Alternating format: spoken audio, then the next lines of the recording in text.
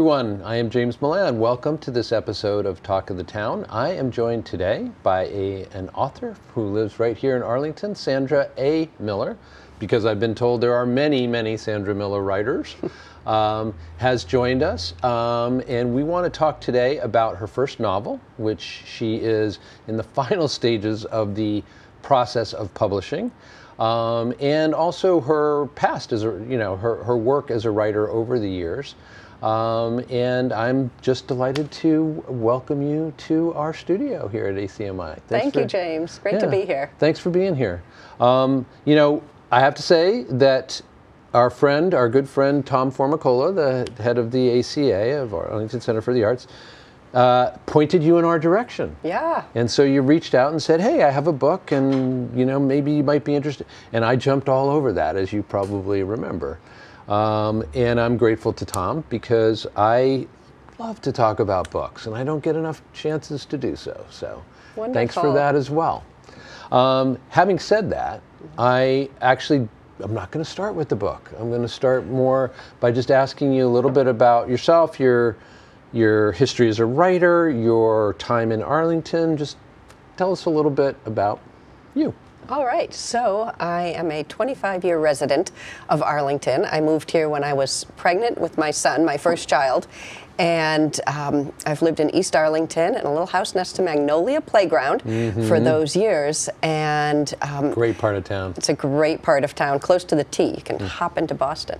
So that's been my writer's haven for um, those decades that I've raised my children in that house. And um, while I was while I was raising my kids, um, I did all kinds of writing. I uh, I had a dream of being a novelist. I, as I was um, pregnant with my son, my first novel that I'd written in an MFA in writing program had just um, gotten an agent in New York. So mm-hmm. I thought, oh, fantastic, right? So I'm going to have the baby and I'm going to have the book.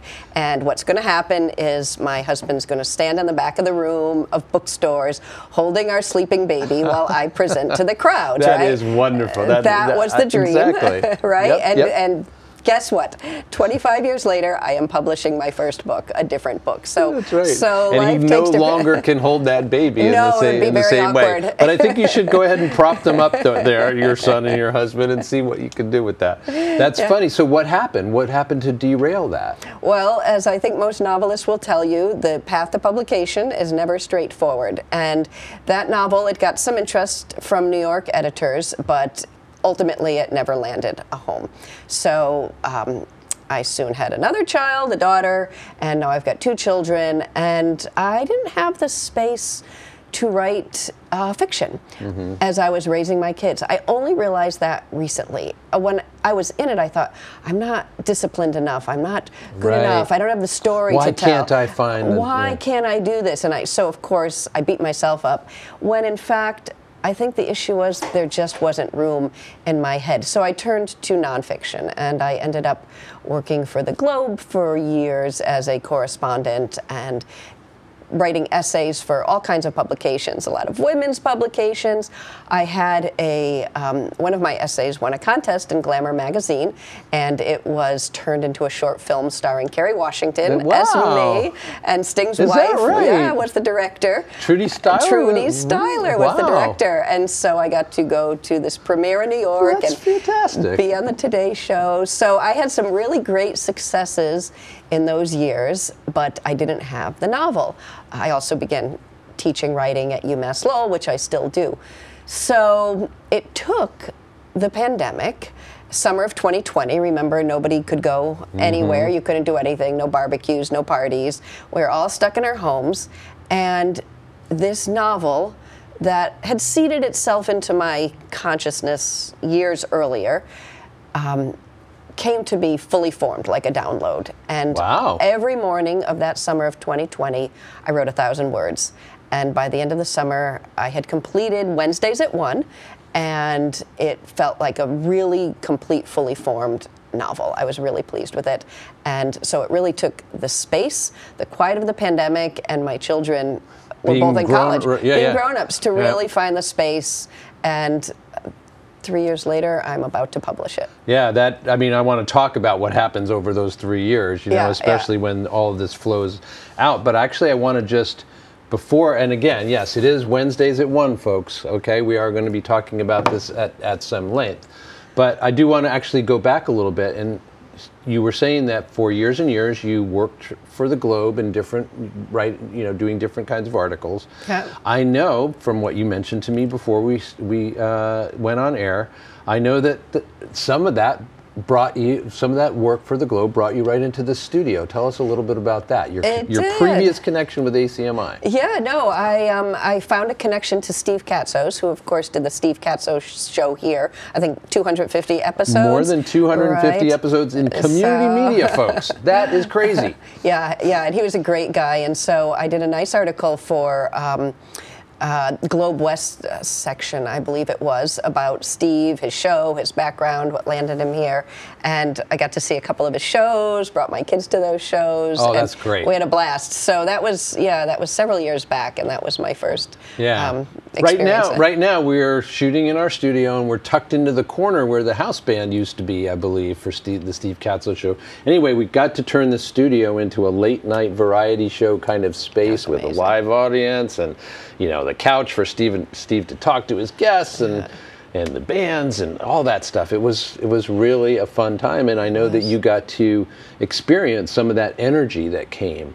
Uh, Oh, yeah. as well from having a crew of 20 people who were many of whom were professionals volunteering their time etc. so Yeah, it's yeah. really one of our great accomplishments here at acmi so i couldn't resist No, of course not. I was gobsmacked when I came in, and my kids loved it. And I think I brought them in a couple other times afterwards just to see the show because he had, of course, the live audience. And I think his dad was always there, like came to every show, Mm-hmm. and um, yeah, it was it was a spectacle. It was fantastic. Well, uh, to get back to what you were saying about when you first, you know, when the, the idea of being a novelist, the the sense that maybe you could and would be a novelist goes back to right oh, right when you started motherhood as well. Yeah. Um, what, like, how about college, et cetera? Did you come out of college and, and you were intending to write, and that's what you started doing right away? Yeah, I went to college as a psychology major because um, sometimes we come from dysfunctional families, and we think, oh, if I become a psychology major, I can I can fix this all. so that's what I did, and I had um, I took my first literary. that go? Uh, no, it didn't go well, but that it would have been fine, except my husband is a psychologist who's inspired this book, which is about a psychologist, and so um, there's only we only really need one in the family. so, so he, um, me, I, um, I had a professor who handed back my first paper in a literary analysis class, and she said, "You're a good writer. You should be an English major." And I thought. That's all it takes. Okay, one really smart professor seeing you, and um, and that was the course I took. And I left college, and I began to work in um, trade paperback publishing for NAL Penguin, um, Viking Penguin, and I was an editorial assistant. I was later a literary agent out in Los Angeles, and um, but really, after I left college, I wasn't as desperate to create a career as I was to escape. I'd lived what I felt was a somewhat sheltered life. And so after I'd worked in New York and LA, um, I landed a job in Tokyo. And so I ended Wow. up teaching at um, a sister school of Oberlin University in Tokyo for two years. I think I was 23, 24. And, um, and that led me to another adventure in Luxembourg. So I spent seven years of my 20s living out of the country. But in that time, um, that's really when I became a writer because in the quiet of a culture where you can't necessarily understand the language and you feel separate and other, um, it can drive you inside. It made me very internally focused and it really made me, allowed me to hear my own thoughts and be very self-reflective and thoughtful about things. And I just, I filled journals in those years and soon those journals turned into short stories and the, or the essays or um, and that was when i really started to write when i was living out of the country and um, Yeah. everything was an adventure everything was worthy of exploring Right. in my journals Right, and especially you're in your 20s. Uh, there's Yeah. a whole lot of a certain kind of growth that happens once you start in the world and you're Yeah. no longer choosing who you can be around you know you're you're going to be you're going to have to figure out how to get along with the other people in, in your workplace or mm-hmm. whatever it is that you're mm-hmm. doing I just find that the way that we do things here in the United States, at least, is you know more or less all the way up through through 20 the age of 22. Mm-hmm. You you got it pretty good in terms of you know who's paying the bills? Probably mom and dad. Who's you, you know you you fall out with this friend? Well, there's five other interesting people over there. right. Um, and the, that becomes very different once you start making your own way in the world in Yeah. your 20s. And when you add to that what you've already said, which is Yeah. taking yourself off, unmooring yourself, Yeah, yeah. escaping, I think you said. Yeah, I know. To go into Um, the complete unknown at 23, a country where I didn't know anybody. I had studied the language, you know, maybe taken a course in New York City. I think that's what I did to prepare. But I was really very ill prepared for what was ahead. I had never taught before, and I was I was there for three days before I had to teach my first class to 40 Japanese students, a college level class to 40 Japanese students. Wow. So it was trial by fire. I Yeah. made a whole lot of mistakes, um, but I learned and I grew so much. It was just like, yeah, yeah. yeah that and, and and i also do understand and and it makes a, a ton of sense that uh, you would develop even more of a writer's sensibility through that experience because as you said you are isolated in a sense from this culture in which you are at the same time trying to immerse yourself or certainly observing Mm-hmm. Yeah. a whole lot of things that are different from anything you've seen before and you have Yeah. to figure that out and process it and if you're naturally a writer Yeah. what a great way to do that Yeah, and and think about those times. So that those were the late '80s, and we had uh, we had no internet. We uh, phone calls cost a dollar Oh, a minute ton, from Tokyo, absolutely. right? So ten minutes to your friends in the states was. You know, ten dollars you probably a didn't major have. investment, right? right? Major investment, and um, and there were there were no distractions. It was a really powerful experience to be that isolated. It was very, in many ways, very lonely. I did have friends there and my colleagues, my fellow teachers, but there was a lot of time spent in my Tokyo apartment with my books or my writing. And it was really fruitful to have no distractions at that time. Or you wrote a letter to somebody, those aerograms that took 2 weeks to get to the person and two weeks back. So, so that experience of being s- not only immersed in the, you know, immersed in the culture, but immersed in my own um, focus, solitude, silence, um, was a gift that I don't honestly know if I'd become a writer today. I don't know if I'd have the ability to overcome the distractions. Right. That, really good point. Yeah. Really good point. Yeah, And uh, and again, you, you you well, let me let me just ask you as an aside, and then we will, I promise, talk about your okay. current book. Um, but as an aside, did you write at that time longhand? Did you write with a keyboard of some sort? How did how, how did that happen? Well, I still have boxes of journals that I wrote in, but at that time, I remember got um, I got um, money like professional development funds, and I bought a laptop. And I can't believe this. This is 1989, and I got this NEC, this Japanese laptop company, and it was a laptop, and all of the keys were in Japanese. Like, like I don't even know how I learned to type on it. I honestly don't. It was amazing, but it was my first Wow. own computer, my first laptop, and um, I think it even had like a printer in it that it used this special vellum paper, and um, so I did. I did Mm-hmm. what write a way on that. to like to, to dive from the you know the what had been the case forever up until that point. Yeah. You know, writing writers wrote right. literally in Yeah, longhand. then typewriters, And yeah. then typewriters, right? And then finally to get to this kind of computer, laptop, keyboard phase. Yeah. But then to add in the complication of Japanese, you know, keyboard and the Japanese language already is Yeah. is completely unconnectable to, Yeah. to English. Yeah, yeah. So Yeah. Congratulations, man! You you went through the fire there. For, I did. for a while, but clearly it, it paid off. Yeah. I know, and we won't talk uh, much about it because I do want to focus on your current book. But I know this is not the first book; it's your first novel. But you did also write a memoir several years ago. That process compared to this one, how you, you, you've just described how this one kind of flowed when it once it happened. Was that the case with your memoir as well? No, not at all. No, it was a very painful process. In fact, um, right after my mom died, um, it was a very difficult time for me, and I was trying to f- sort some things out, including.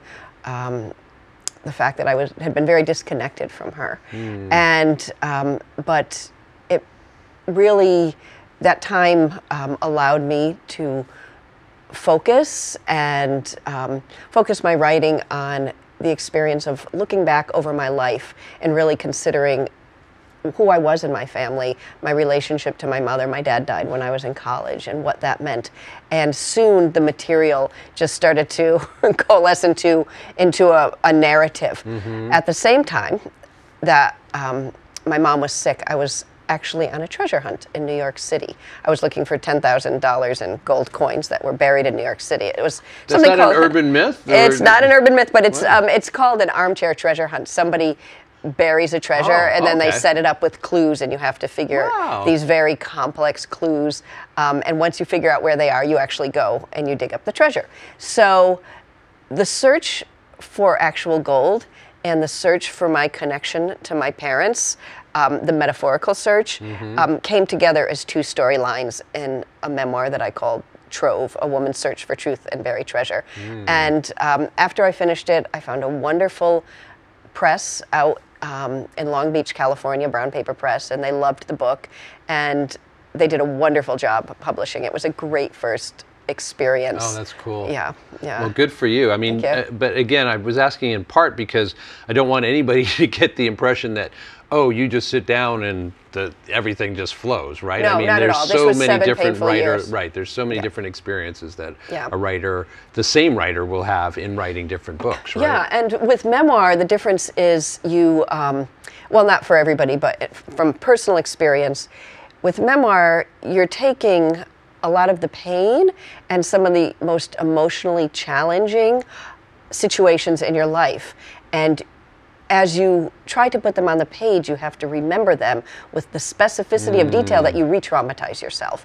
So I've talked to a lot of memoir writers and I teach memoir writing. And I always warn them like, you have to be kind to yourself because when you're writing memoir, um, for example, there's a scene in my memoir about my dad, the day my dad died. And how many times did I have to recount that to get the details correct on the page? And it would leave me in tears every yeah. time I actually had to go through that scene again over and over hundreds of times if you're writing a book.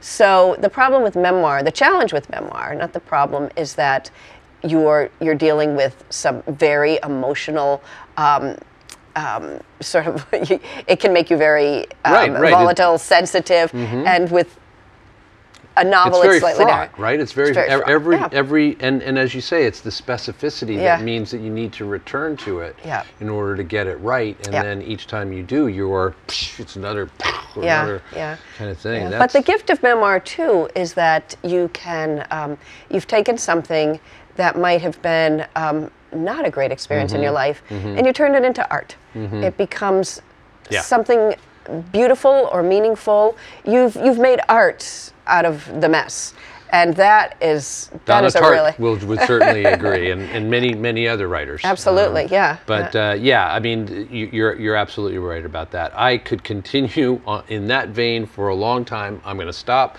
so that we can focus on Wednesdays at one. So, tell us what kind of novel this is, um, and how it is that you that this came to be. You said it was seeded a long time ago, but just tell us a little bit genre. Okay. Uh, you can describe the novel to whatever degree you, you, you'd like. Okay, sure. So it's a literary suspense, and it's the story of a clinical psychologist, Gregory Weber, who's burdened by the guilt of this horrific thing he did as a teenager, a mistake he made that no one else knows about, and no one else who's alive knows about. And so he lives this very enviable life in Cambridge, Massachusetts, and he um, outwardly enviable, but inside he's tormented. And um, then one Wednesday at one, this woman appears in his therapy office and unscheduled client, and she seems to know things about his past and has this very uncanny knowledge of of what happened to Gregory when he was 17 and the situation. And so he becomes really obsessed with figuring out who this woman named Mira is and why she knows these things. And soon um, the roles reverse, and he falls into the client role, and she becomes the therapist. Interesting. And so, so the central question of the novel is who is Mira and how is she connected to Gregory? Wow. And So- obviously, we will find out by the time we get to the last page, but not will. until then. No. or approximately. Um, that sound. I mean, it sounds. It sounds. It's got me hooked. I, I will say that. Um, and uh, I do. I was telling you before uh, we started uh, taping that I. This is a genre that I just. I just love. Um, and so I'm so very glad to know that there's another piece of delight waiting for me in the future. Um, Yeah. but tell me again, well, I guess one thing I would like to know is you said that it it was it, it, it kind of gestated for a long time, right? Was that really around about the fact that as you said before as a as a as a as a parent raising children in your house and you know doing all of the it's a very labor intensive enterprise to raise children. Um, was that what what what meant that it couldn't move forward um, from wherever it was seated? Um, or did something else have to happen besides the pandemic actually opening the opportunity in the way that you said? Did more did more have to happen for you, perhaps? I don't think know. I think more had to happen. I think that um, the story came to me, the idea came to me when my um, husband and I were first together before we were married, and he's a psychologist, and a woman started stalking him, listening to our conversations outside our window, and then hmm. bringing them into therapy. And I wasn't interested in telling that story. That I'll was too close to home, and it became our personal nightmare. But the story that seeded in, as I said, was this idea of what if a therapist who's in control in the therapy role, and usually the client is vulnerable, mm-hmm. what if one day a client comes in and knows things about the therapist that she shouldn't know, something about his past? I didn't even know what she knew in my in Right. my head 28 years ago when I got this idea, but I just liked the role reversal that interested me. So I kind of had that idea. I tried to work with it in various ways, and I tried to put it into a script.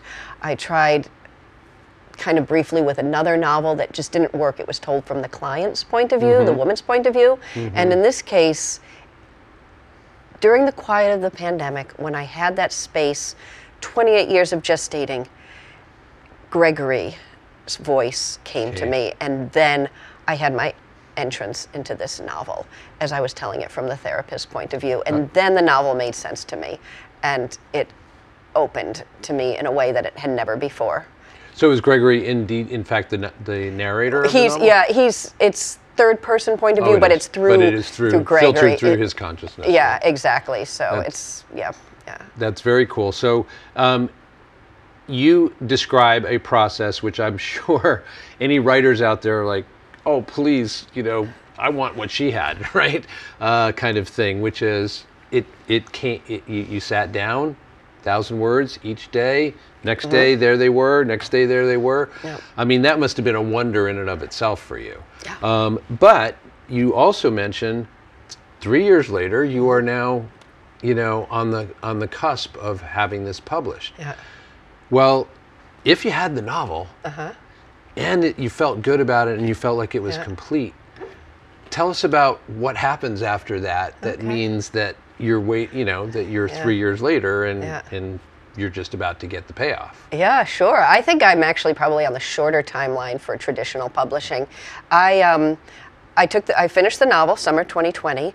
I showed it to my beta readers, some friends that we always exchange our work with, and then um, I did a rewrite on it. I tightened it. I got it ready to send to agents, and then I saw that. Um, a woman named Zibby Owens of Zibby Books. Um, she's a New York publisher.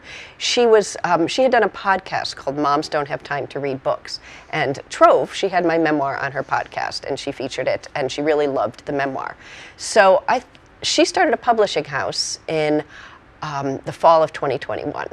And I thought, I want to be with her. She was trying to do it differently, really create a community of writers and um, a really supportive publishing community Mm-hmm. and, and traditional publishing. So, with traditional royalties and Right. advances. So, Wow, um, that's a good. it was a fantastic situation, and I sent the book to her, the manuscript to her, and um, she took it instantly. She loved it, and so she put it on her.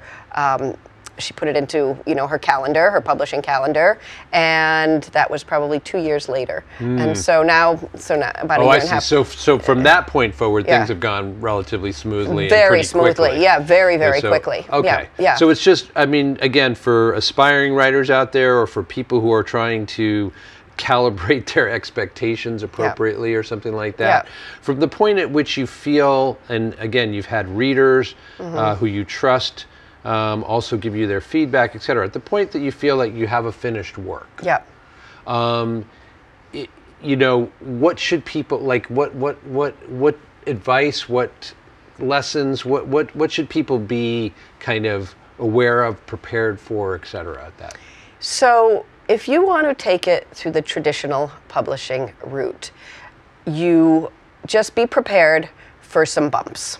And um, I now have an agent, but it's very challenging to get an agent. A lot of people are writing, a lot of good writers out there. Um, there's a lot of access to writing information and to writing classes, of course, on the internet. So, I would say to people, keep your expectations um, in line and work your butt off. Um, and if you want a traditionally published novel and you want to hold that book in your hands or pull it off the shelves of any of our bookstores, then you are really going to have to commit to that project. And if you commit to the project and hold on to the idea that, that you want this, um, and those two work in tandem the hard work and the belief you can make it happen. You can make it happen. But call in all your sources. Yes. work hard. Get feedback. Get beta readers. Don't get discouraged by the rejections. If you, you might get 100 rejections from an agent. That is not unusual for people and from agents. And then who knows? 101 could be your agent. I've heard this story so many times. So, so you I- just have to be strapped in and yeah, ready to just kind of Yeah, keep swimming yeah. against that tide Be until- tenacious. if you want it, um, there are a lot of artists out there. There are a lot of people with books, but what's going to make you set you apart is that you're going to you're not going to quit until you're holding your book in your hands. I was a little like that. 25 years later, I haven't given up. That's that. Yeah, that's a good testament right there. Okay, um, you know, time's flown, always does. Uh, let me ask you one last question, which is, okay, accomplishment, major accomplishment, right here. Um, enjoy it, etc. Is there going to be another one? There is. Is that of right? course, yeah. I'm working on it. I'm not quite having the thousand word a day success as I did with this one, but I'm also distracted because I have a big launch to prepare for Right, and right. a lot a book tour, and so it's thought raising kids took a lot I'm of not time raising tour, I'm not but- raising kids, but, how I'm going on book exactly. tours. So so it's finally kind of my career time, um, full blast. So so, but I'm still working on another another project. That's yeah. great. Well, we will have you in with that one when the time comes. Thank you. I hope we so. will hope it's not another three years, but who knows? um, I have been speaking with a, our local author, Sandra A. Miller, about. Uh, I said I said Sandra, and I meant Sandra, um, about her novel Wednesdays at One, and um, it has been a delight. Thank been you such so a much for coming Thanks, in. James. Really appreciate it. Um, I thank Sandra for her time and you as well for yours. Thank you so much for joining us. I'm James Milan. This is Talk of the Town. We'll see you next time.